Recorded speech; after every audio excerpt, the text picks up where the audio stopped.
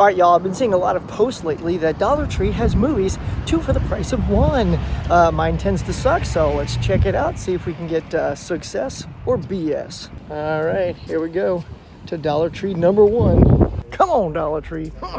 Well, as expected, I don't even see stickers here that say two for a dollar, so I don't even have that deal in this store, and no Blu-rays, so strike out at Dollar Tree number one. All right, let's check out Dollar Tree number two.